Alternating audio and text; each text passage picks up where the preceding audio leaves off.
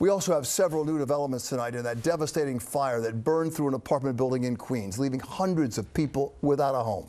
We learned today a worker using a blowtorch started the fire, and tonight we're learning there could soon be criminal charges because of that. From the scene in the Sunnyside section, here's Eyewitness News reporter Sonia Rincon.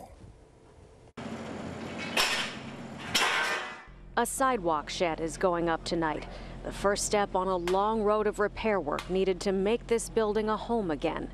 The FDNY's fire marshals have determined that a renovation contractor using an unauthorized blowtorch to remove lead paint started the fire on Wednesday. They were authorized to do some work in the building, but not that work. And then tried unsuccessfully to stop the spread.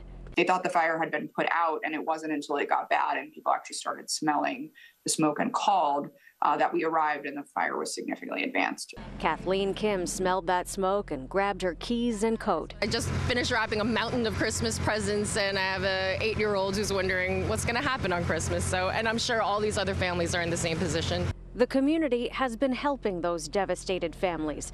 A neighborhood veterinarian was quick to provide emergency care to a cat who survived a six story jump from the burning building. And at the local state assembly member's office, toothpaste, shampoo, conditioner, all things that are essentials. Personal care items and socks are available for those who had to leave everything behind. Right now, we also want to push for hot meals for these families, and hopefully, we can get their stay extended throughout the holidays.